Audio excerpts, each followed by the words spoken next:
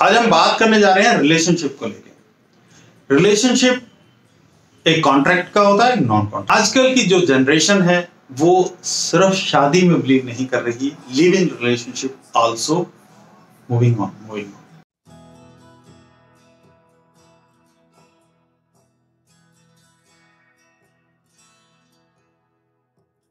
नमस्कार दोस्तों, मेरा नाम है डॉक्टर जी डी भार्गव और मैं प्रेजेंट करता हूँ अपने चैनल को अवर ब्रेन अवर लाइफ आज हम बात करने जा रहे हैं रिलेशनशिप को लेकर रिलेशनशिप एक कॉन्ट्रैक्ट का होता है, एक नॉन कॉन्ट्रैक्ट इसे नॉन कॉन्ट्रेक्चुअल भी बोलते हैं। अब इसमें फ़र्क क्या है? आजकल की जो जनरेशन है, वो सिर्फ़ शादी में बिलीव नहीं कर रही live in relationship also moving on moving on तो रिलेशनशिप तो दोनों जगह निभानी पड़ेगी आपको लिविंग में भी और मैरिज में भी। दोनों में फ़र्क क्या है? सिर्फ़ एक ही फ़र्क है कि एक के अंदर लीगल पैरामीटर भी एंटर हो जाता है, जैसे गवर्नमेंट भी एंटर हो जाती है, कुछ ऐसा रिलेटिव भी एंटर हो जाते हैं, और आपको पूरे डॉक्यूमेंटेशन पूरे करने पड़ते हैं, दूसरे वाले में आपको डॉक्यूमेंटेशन पूरे नहीं करने पड़ते हैं, बट वो रिलेशनशिप टूट जाए या मैरिज टूट जाए, दोनों ही रिलेशनशिप में जो भी ब्रेकअप होता है तो पेनफुल होता है। ये तो मानेंगे आप।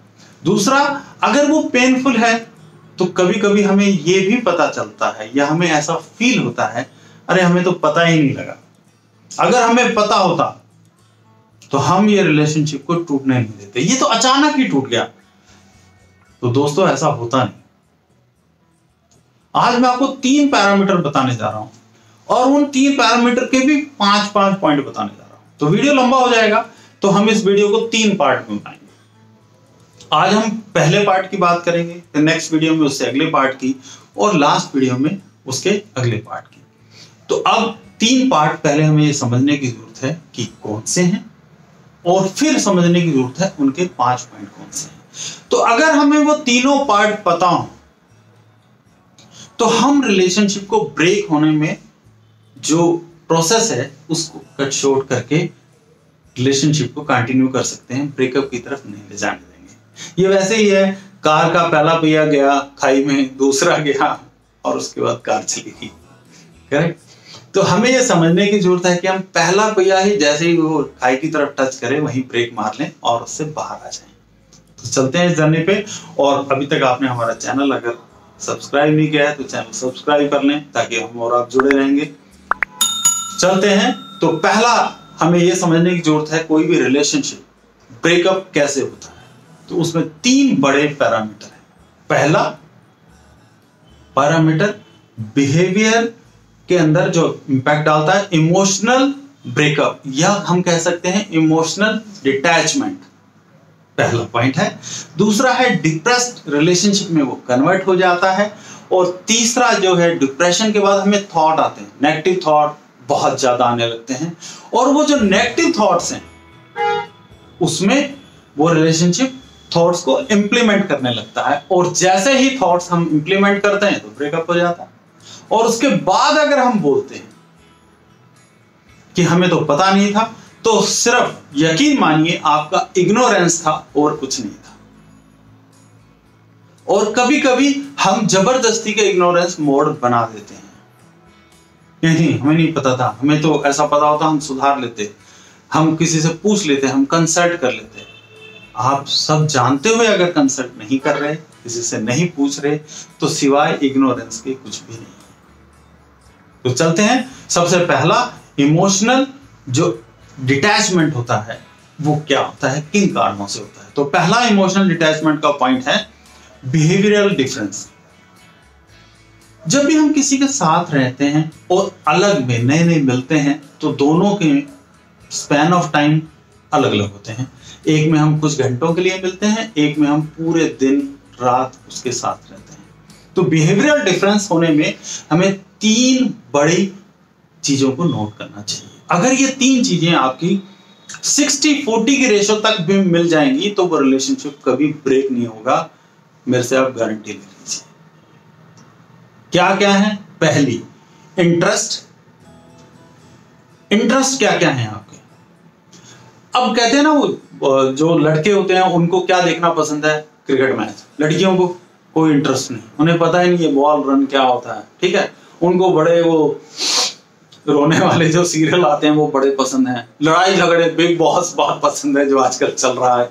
ठीक है ऐसे ऐसे सीरियल बहुत पसंद है। हो सकता है लड़कों को इंटरेस्ट ना हो, उनको नॉलेजेबल डिस्कवरी देखने में मज़ा आता हो। कौन बनेगा करोड़पति? जब क्वेश्चन हो। कौन बनेगा करोड़पति में?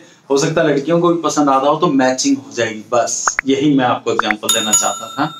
आप समझिए, आपका जो काउंटर पार्ट है, उसके क्या इंटरेस्ट है और वो इंटरेस्ट कुछ आपको पसंद होंगे, कुछ आपको पसंद नहीं होंगे बट उनको मैच करने की कोशिश करिए। सिक्सटी फोर्टी के रेशो तक ले आइए। हंड्रेड परसेंट तो मैच नहीं होगा। सिक्सटी फोर्टी कुछ आप झुकेंगे, कुछ वो झुकेगा, चलेगा। अगर वो एट्टी ट्वेंटी नाइनटी हंड्रेड रहेगा नाइनटी टेन रहेगा तो समझिए आपका रिलेशनशिप स्टेक पे हमेशा ही रहेगा। और ये चीज़ें आप जब रहने लग जाते हो साथ में एक लिव में रहो या मैरिज में रहो, तब आपको बहुत ज़्यादा पता लगती है। तो आपको पहला चेक करना इंटरेस्ट कैसे हैं, आपके कैसे हैं और आपके काउंटर पार्ट के कैसे हैं। और उन दोनों को आपने क्या करना है, सिक्सटी फोर्टी के रेशियो में लेके आना और खुद ले आओ तो बहुत अच्छा। नहीं तो हमारे जैसे लोग एडवाइजर हैं आपके पास। बहुत सारे साइकोलॉजिस्ट हैं, जो भी हो, उनसे मिलिए आपको एडवाइस कर देगा। तो पहला इंटरेस्ट सेकंड दूसरा वैल्यूज़ ये थोड़ा क्रिटिकल है। क्योंकि वैल्यूज़ बहुत ही डीप होती हैं। ये जब आप पैदा होते हो, आपके पेरेंट्स आपको देते हैं, आपका बचपन का इन्वायरमेंट देता है तो वैल्यूज़ को हिलाना बड़ा मुश्किल हो जाता है। माइनर जो चेंजेस कर सकते हैं तो सिवाय सब कॉन्शियस माइंड के आप वैल्यूज़ को चेंज नहीं कर सकते, जबकि सब कॉन्शियस में जाके कुछ चेंजेस कर सकते हैं। तो अगर आपकी बेसिक वैल्यूज़ नहीं मिलती हैं तो वो रिलेशनशिप कभी ना कभी स्टेट पे रहेगा। कोई भी बेसिक वैल्यू हो सकती है, जैसे आप मूर्ति पूजा करते हैं, छोटा एग्ज़ाम्पल देता हूँ। दूसरा आदमी मूर्ति पूजा नहीं करता। हमें देखने में, सुनने में कोई फ़र्क नहीं लगता। हमें लगता है, क्या है? वो मैं पूजा करता हूँ, वो नहीं करता, बस इतना ही तो फ़र्क है। राइट या आप को ये सिखाया गया है रिजिडिटी में। Again I am using the word rigidity में कि नॉन वेज को हाथ नहीं लगाना, खाना तो बहुत दूर की बात है और दूसरा आदमी नॉन वेज खा रहा है। तो आपको लगता है कोई बात नहीं आई कैन एडजस्ट तब तो हम क्या होता है? ड्रीम्स में होते हैं। लेकिन आप कभी भी किसी बड़े एज के पर्सन से thirty forty forty five fifty age की लेडीज़ से या जेंट से बात करिए तो उनके घर का क्लेश का आधा रीजन ही है। सारा दिन पीता रहता है, सारा दिन नॉनवेज खाता है। मैं तो उस बर्तन को हाथ भी नहीं लगाती, मैंने तो चूल्हे भी दो बना दिए हैं। क्योंकि वो स्टेज में है कि अब सेपरेशन नहीं हो सकती, बच्चों की शादियाँ हो गई हैं तो बहुत रेयर केस होता है। तो आप समझने की कोशिश करिए, जो आपकी वैल्यूज़ हैं, वो मिलनी चाहिए। जो आपके रिलीजन हैं, उनकी जो वैल्यूज़ आपने अंदर ली है, वो मिलनी चाहिए। क्योंकि रिलीजन भी वैल्यू देते हैं आपको।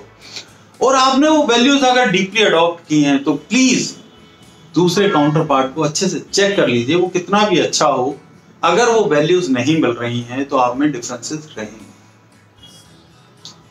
ठीक है सेवेंटी थर्टी रहेंगे, झगड़े उतरेंगे लाइफ चलती रहेगी। लेकिन अगर वही डिफरेंसेस आपके गलती से 90 10 80 20 रेशियो में आएँगे तो डिटैचमेंट हो जाएगी बिहेवियर पूरा चेंज हो जाएगा और रिलेशनशिप में इमोशनल डिटैचमेंट हो जाएगी। इमोशनल डिटैचमेंट पहली स्टेज है किसी भी रिलेशनशिप के ब्रेक होने थर्ड इसके अंदर प्रिंसिपल्स प्रिंसिपल क्या होते हैं? प्रिंसिपल हम लाइफ के साथ साथ बनाते हैं। कुछ प्रिंसिपल हम टाइम पे चेंज कर लेते हैं। बड़ा आसान सा एग्जांपल से समझाता हूँ आपको। मैंने प्रिंसिपल बनाया, मान लो एक बच्चा है, वो कहता है, मैंने प्रिंसिपल बनाया, मैं नकल नहीं मारूँगा। क्योंकि उसको बड़ा कॉन्फिडेंस है, अच्छी तैयारी कर रहा है।